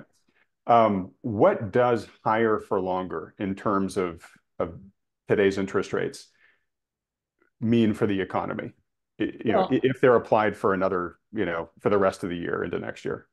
Yeah, no, I mean, you know, this. So the, I, am actually writing an article on this for this weekend's newsletter. So it, uh, I'll have all the relevant charts and graphs in this weekend's newsletter. Somebody just got bingo on their bingo card. Good. Yeah. so I mean, it's, I mean, it's a hot topic right now, right? So, uh, most importantly, what I'm talking about is the uh, Jerome Powell just made a speech um, this past week, which he said, he said, look, he said, um, you know, we may have to keep rates where they are for a while longer because we don't have confidence yet that inflation is returning back to 2%. But we're confident that they will. It's just going to take more time to get there. And there's there was no indication anywhere. I got a bunch of emails this week. One of the things that sparked the the uh, newsletter topic was I got a bunch of emails from UBS going, the Fed's got to raise high uh, raise rates to six and a half percent. No, they're not. And Jerome Powell made no inclination that he was going to raise rates any further. They're still on the side of cutting rates here. They just may have to hold them here at five and a half or longer. And that just means that lag effect of higher rates. And, and this has been my question, right? I've been asked, I asked you this question a couple of times. I think last year I've asked Mike Lebowitz this question. I'm like, why would the Fed cut rates with employment near record lows, with you know the the stock market booming? Why cut rates? You've got the wind at your back. Just hold rates at five and a half percent. Wait for the wheels to come off the cart and then cut. Right. and use that to help buoy the markets and buoy the economy when you do it. Why would you cut early? And finally, the Fed is now starting to come back around and, and realize that that's your, their best case scenario is just kind of sit and wait, let the work do its job. And this lag effect of a lot of data is going to catch up. And you're going to have, and again, NFIB shows this as well, is that interest rates, inflation, economic growth are all going to turn uh, over the next few months. Okay. Um, so I mentioned I was interviewing Simon White from Bloomberg uh, yesterday, and and and he is just dumbfounded about Powell's December policy pivot. It was just like, why would he do that? I mean, you were you were kind of getting everything in the direction you wanted to go. Why would you suddenly give the market the expectation of exactly what it wants, which which essentially had the effect, you know, kind of of, of rate cuts on the system, and everything got a lot looser and you just set yourself back, right? Yeah. Well, so, and again, I, I think Mike is right about this. Is and Mike's contention has been that it's a function of liquidity in the markets, and what the Fed doesn't want is they don't want another Lehman event of some sort. Uh, so if look, they they have 400 PhDs running around their halls of the of the Federal Reserve. They are not, you know, stupid people, um, and they have access to a ton of data that we don't have. So if they're looking at data that suggests there is a liquidity issue on the horizon, that may explain why they've been trying to drop this narrative that they're going to cut rates, trying to provide some additional liquidity to the market. Maybe that's the case. I don't know, right? I don't know the answer. They have their reasons, um, but that's the only reason that really makes some sense that they're concerned about some liquidity issue. All right, so let, us play this out. So you may remember you were away the week that that that happened, and so Mike took your place on this yeah. this video, and and we talked about, hey, is is the Fed really as confident as they're projecting, or are they are they fearful of of you know what you're talking about there? And um, I've asked that question to a lot of people. In fact, I actually even asked it to to Thomas Hoenig, the uh, former sitting member, voting member of the FOMC, and and his answer was probably a little bit of both, right? Um, and maybe you can say, okay, maybe in the smart category, maybe they were, and because their jawboning sort of acted as, as, as rate cuts, maybe it served to stave off for a period of time the pressure that they were afraid of. Who knows, right? Um, on the negative side, it's created, well, potentially created issues for them again on getting inflation down on their main mandate. And now they got to kind of reverse course and disappoint the markets uh, and you know go higher for longer, which you know weighs on the economy as we're talking about. So who knows? But uh, it, will be interesting to see. But but game this out for me. So let's just say that that we stay here at, at these higher level of rates. Um, you know, I, I, I've overused the term lag effect, but like, do, do you become increasingly concerned that uh, the gravitational effect of these higher rates really begins to to pull things down, and that the the longer things stay here, presumably the longer whatever lag effect they're going to have is going to last.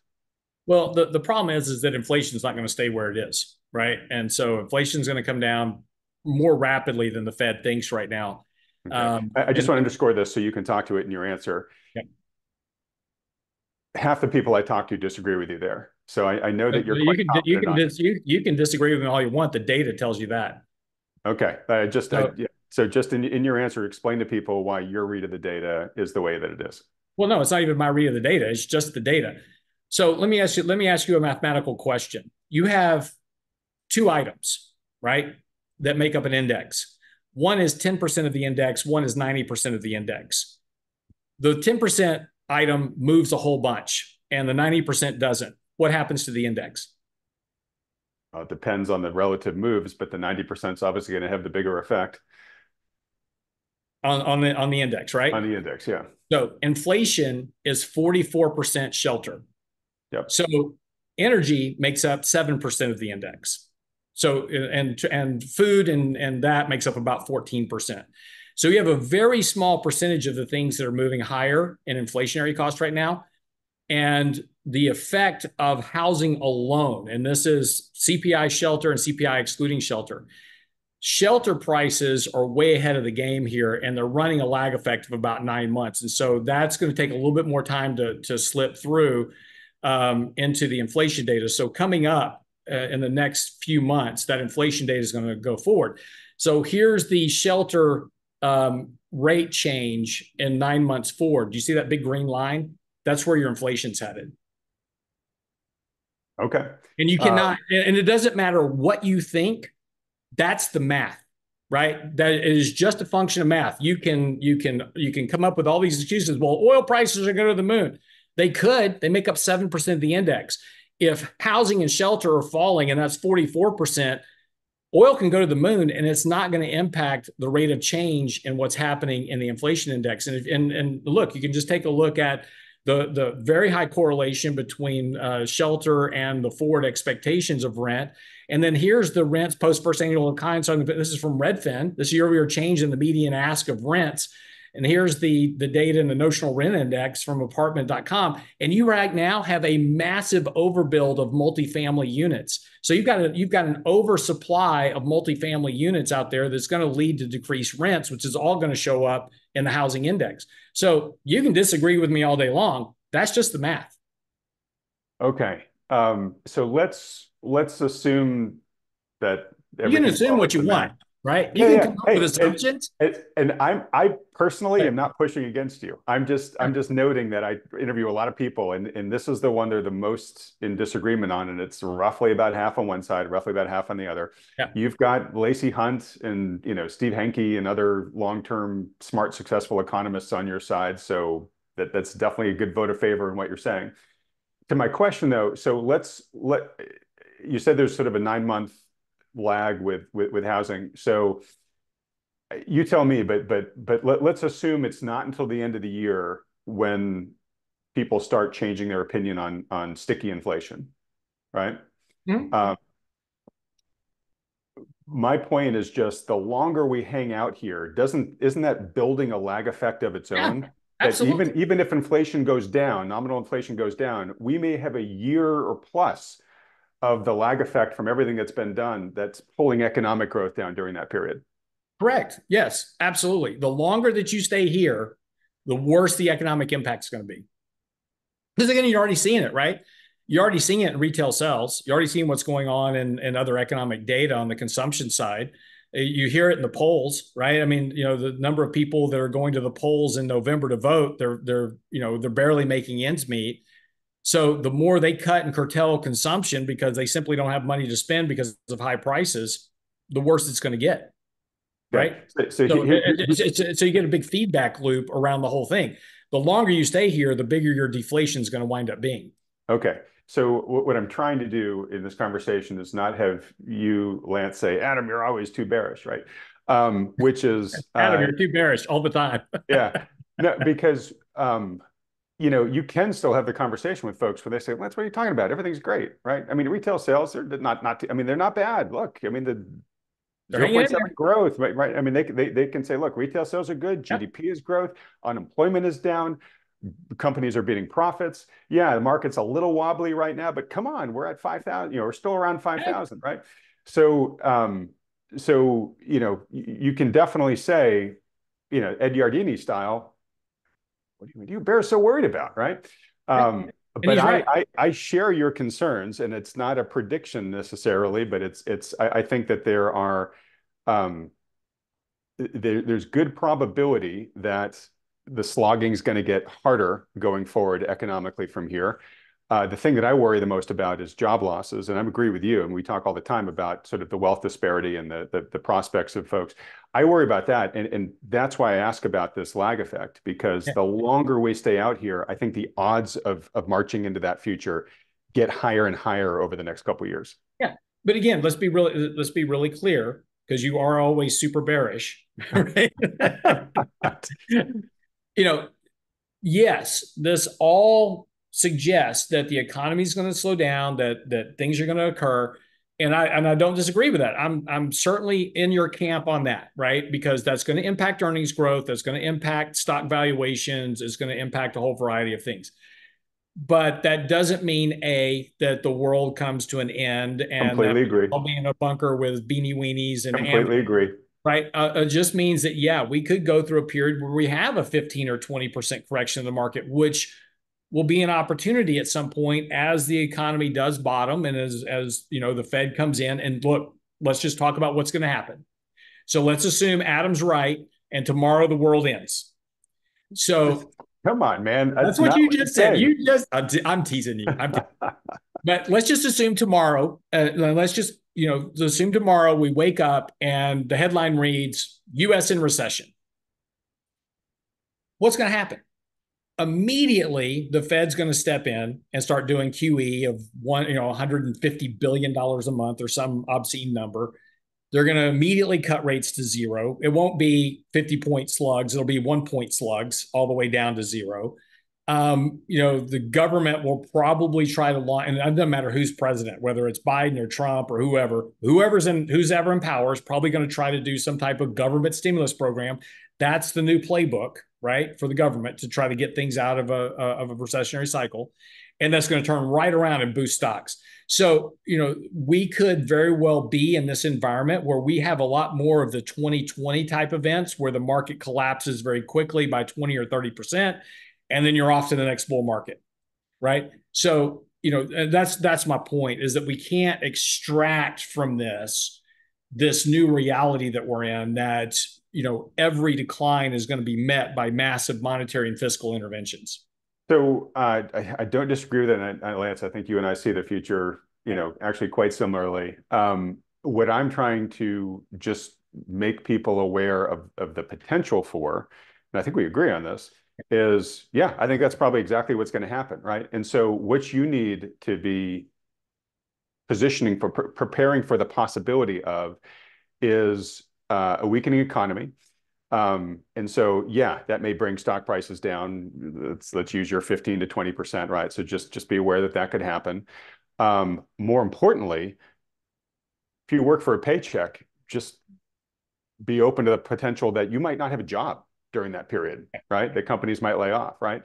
If you've got, you know, adult children that are launching into the world, they may be launching into a really tough environment to get hired in. And we're already hearing that. I mean, that's it, it, it no matter what the, the BLS numbers say about how great this job market is, that is the narrative I'm hearing from almost every parent out there right now of college students, because I have kids of that age. Yeah. Um, so, that, so I, trust me, so do I. And we and and I have this same conversation with our kids on a regular basis. Yeah. So if if if the the we get the response that that you think, and I think we will uh, from the governments, yeah, that's probably going to goose um, financial assets you know, pretty quickly again there. So you don't want to just be totally out of the market and, and miss all that. At the same time, that's going to increase the wealth inequality issues that we have. Um, one, I don't think it's necessarily going to stimulate the economy as much as it will. That's a TBD debate for later on, Lance. But but you, we may still get on that you know diminishing returns of of all this stuff, and highly likely to restoke inflation and and the the ramp up in the cost of living. And so these are just all things that I, I talk about, not to say that, hey, the world's ending and everybody, you know, go in the bunker. It's just to say there's there are scenarios where the sledding could get a lot rockier and rougher uh, over the next couple of years. And I just want to make sure that folks are keeping an eye an eye to that and thinking today, okay, if that were to happen, am I positioning myself such that I've got the ability to react to that? No, I think no, you're absolutely right, and I think that's a, a very valid and important point because you know this and and again, what's our job, right, as investors? And our job as investors is to make sure we're growing our wealth over time, and this is why it's important to be prudent. And again, you know, I'm not about you know just saying just you know ignore all the risk and just let the whole thing wash over you but you know again it's important to kind of keep perspective on things so we don't do so we don't make decisions that wind up damaging ourselves and, and our ability to build wealth. I'm gonna, I'm gonna go back to this chart i showed you a little bit earlier adam. Pull it up uh, and i'm just going to underscore as you do to say totally agree with you. And again folks that's why i say work with a professional financial advisor because most people lance don't have the experience the interest or in many ways like the the mental fortitude to to make it through rough times like that when things are super confusing. We we just default to whatever our emotions are are forcing on us. We make a ton of bad decisions. Yeah. So and and and, and you know we've been through some tough times, right? So this is just the S and P going back to 1992. Um, and, what's interesting is is that let's take you know we we've talked about the financial statistics in America, right? Um, the average household has about $100,000 in their 401k plan. They, you know, average of $500 in savings in the bank. And what's important to, to why those numbers are important is because, you know, if they were just buying and you know buying stocks, investing just in S and P index fund, if they were just invest into an S&P index fund and, and regardless of all the big declines that we've had, they would be so much better off. But the reason that 80% of people don't have any money in the bank is because they're always making the wrong decisions. And not just from investing standpoint. You know, they're they're they're living for, you know, YOLO, right? You know, you only live once. So I'm just going to spend all my money today, go into debt. I don't save enough. I don't invest enough. You know, we can just, you know, you and I have been through the litany of everything that that people do wrong when it comes to their money. But we've had three major bull markets, and the bull market we've been in since 2009 dwarfs all of them. And yet you still have the same financial statistics. And this is, and again, this goes back to you know the the the bad decisions that people make over and over and over again, saying, "Oh, the market's going to crash. I don't want to be in it. I'm trying to." You know, this is loss aversions, one of the big nine of psychological behaviors that that you know mess investors up is not having good risk management, trying to avoid, you know, be all in or be all out. And you know, there's very clear trends to the market that you know make it very easy to invest and not worry about some of the, you know, kind of turn off, as we said before, kind of turn off the media because the media is trying to get headlines. They're trying to get clicks and views and everything else. Focus on what matters. And that's the trend of the market. That's the trend of the economic data. That's the trend of the earnings data.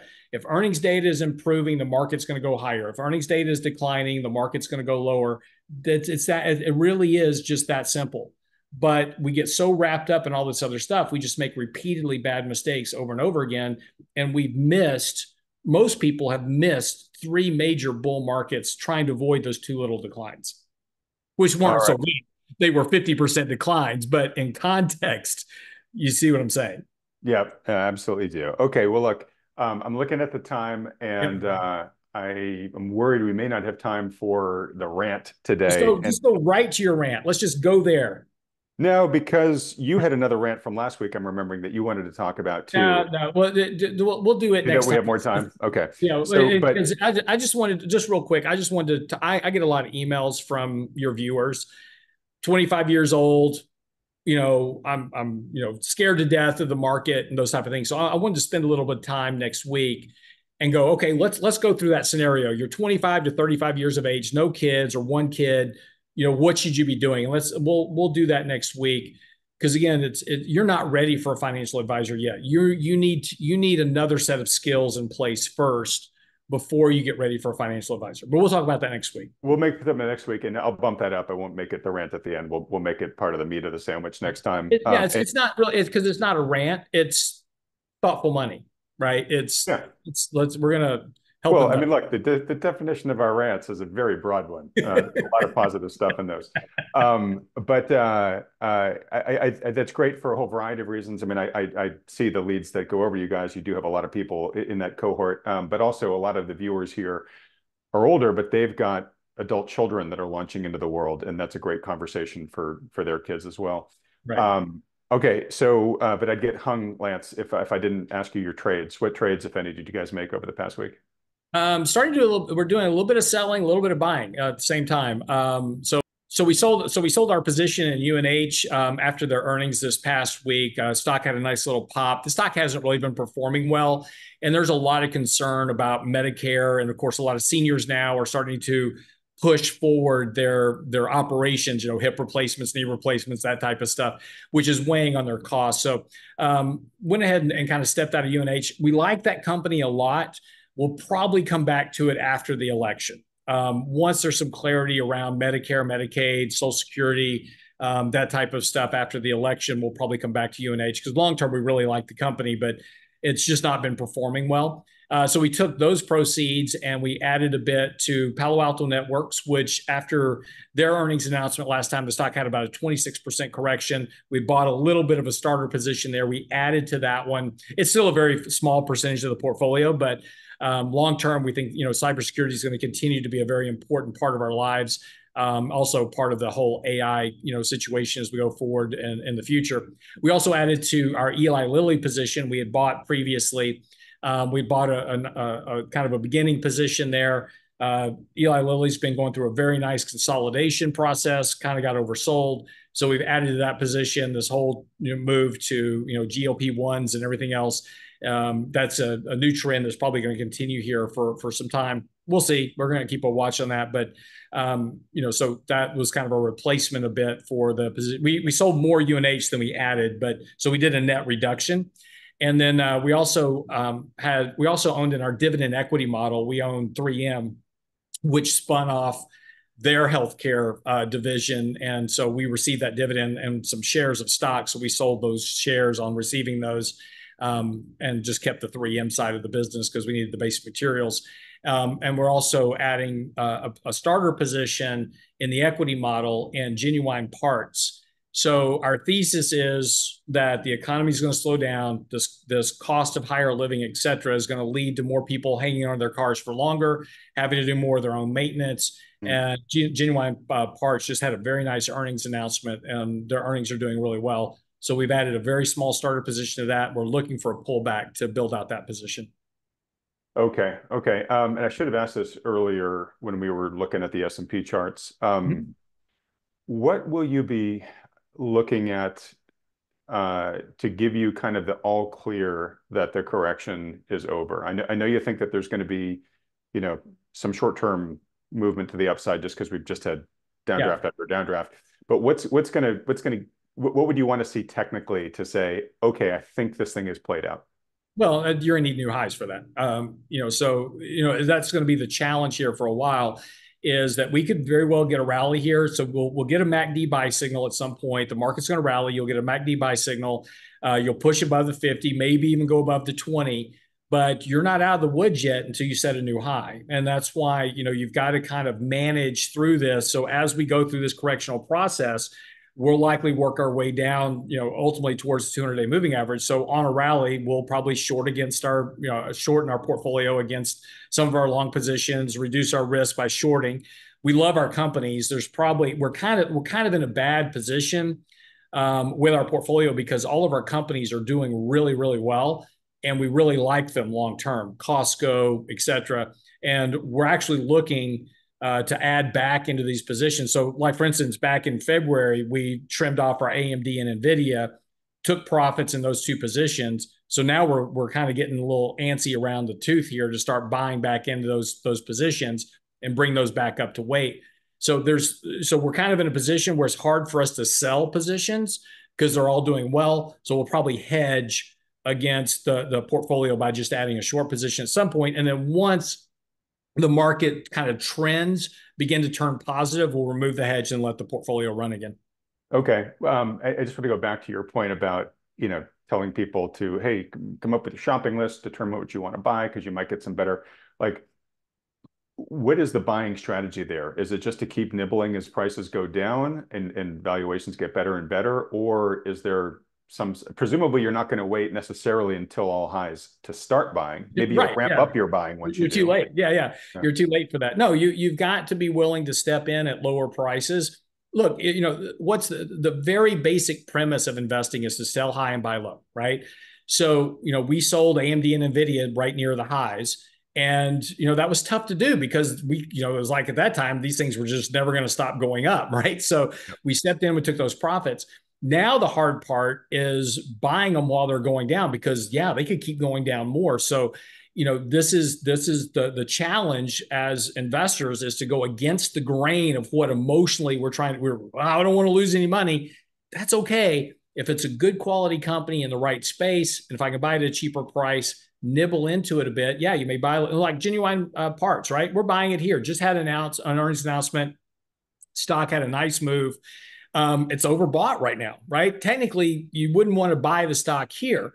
But historically, the stock has a tendency after earnings to kind of keep climbing higher. So we bought a little bit here. And when it pulls back, we'll have a loss in that position. But when it pulls back, we'll add to it, bring our dollar cost averaging down, And then as the stocks starts to go up again, then we'll start adding into it on the way up. And so we'll build that dollar cost average position over time so that we can kind of build a, a, good cost basis for that position in the portfolio. And that's what we've done for a lot of our companies is that we've, you know, all the companies that we own, we've bought and sold them multiple times. Not, uh, not all of them. We don't sell everything and then buy it back. But, you know, we sell a little bit here and then we add back to it later and we sell a little bit there. I mean, we've owned Costco since 2019. The stock's up a tremendous amount. But if you look in our portfolio, we're only up like 64% in the position. And that's because we've been buying and selling it and, and changing our cost basis along the way. But we would sell it, take profits, the stock would correct, we'd buy it back cheaper, and then the stock would rally again. So if you actually look at our net return on that position, it's over 100, it's uh, like 150% on that one position in the portfolio. It just doesn't reflect that way because we keep changing our cost basis. All right. Thanks for explaining that. I think it's really sure. helpful for people to figure out how to navigate this. Um, all right, so I'm going to skip over the ramp. Uh, we've gone long here. Um, I, there, there's, I'm just going to share this one image uh, that I put on Twitter, um, and Lance will just laugh about it for 20 seconds here. Um, but um, you know, as we get into this, uh, you know, potentially tougher economic times, and certainly a greater and greater swath of the country is is expressing that their their incomes are not keeping up with inflation. You get tone deaf articles like this that come out about you know the 1% that just doesn't have any worries like this and it really does lance seem like they live in a different universe. So uh, here's an article from uh, i think the wall street journal uh, that just got uh, made its way around twitter. Um, for folks that that are, are, on the podcast and not not seeing this it's a beautiful beautifully decorated house. Um, the headline is they love their 14.95 million dollar hamptons house. The problem their dog hates it. I was a little uh, worried there because I thought that was my living room for a second. Oh, really? So, so it says this couple built their dream home in Sag Harbor, Harbor, but they're now selling it because their golden doodle Rufus quote gets pouty while he's there, right? um, I mean, this, as I said in my tweet, this is why people just hate the coastal elites, right? They just they just seem so out of touch that their their big challenges in life is that their expensive breeder pets you know, aren't in a state of euphoria uh, when when they go out to the uh, uh, you know the vacation home, right? The the the gazillion dollar vacation home. I, I, just have a real question: Is does the dog really hate the house, or is there something else going on there that the dog hates? Oh my God, the speculation that that has erupted in Twitter after I put I can, this out I can about only, I really... can, I can only imagine. I can yeah. only imagine. Yeah, yeah, yeah. I think it's safe to say uh, that it is not it is not the dog's attitude uh, that's the root cause there. Um, but still, it's just uh, it's just ridiculous. Um, all right, folks, we'll look. Um, we'll, we'll end it there. Um, look, if if if you get pouty every week, you don't listen to this weekly market recap between Lance and I. Uh, please vote your support for us continuing this uh, by hitting the like button, then clicking on the red subscribe button below. I think Lance has done a great job today of helping you know folks understand how to think through how to navigate the current period we're in in the markets and what might come ahead. Um, as I've said many, many times, I think the vast majority of people should be working under the guidance of a good professional uh, financial advisor to navigate all this. My one really key uh, caveat versus just being a good professional financial advisor is that they take into account all of the macro issues that Lance and I talk about here. Very few do in practice. Um, so anyways, if you've got a good one who's doing that for you, great, stick with them. If you don't, or you'd like a second opinion from one who does, maybe even Lance and his team there at RIA, consider scheduling a consultation with the financial advisors that Thoughtful Money endorses by going to thoughtfulmoney.com and filling out the form there. Um, and do this, folks, you know, only if you're really serious about how you safeguard your wealth going forward from here. Uh, these advisors are very busy. They've got plenty of people to talk to, plenty of, of, of, things that they need to devote attention to. But I think that this should be one of the top most important things on your list. So if it is, make sure you go and schedule those consultations. Uh, as always, Lance, it's been phenomenal. I'll give you the last word here. Uh, no, uh, look, you know, the, the important thing here is there's a lot of things happening in the markets. And look, we're, we're in the process of this correction that we've been talking about for a while but there's a lot of you know real, this is where emotions start getting out of control we start worrying about you know things that probably won't happen and you start making irrational decisions like oh my gosh i've just got to sell everything and get out now before it goes down anymore just calm down take a breath let the market the market is going to rally here it's not going to go straight down So if you're really stressing out here, I get it, right? We all do it. I do it. You know, nobody likes markets going down. We, it's easy when it goes up, but wait for a rally and then sell into the rally. You'll feel better about it, and it's better for your portfolio to do it that way. All right. Well said, my friend. Thanks so much for another week. Everybody yep. else, thanks so much for watching.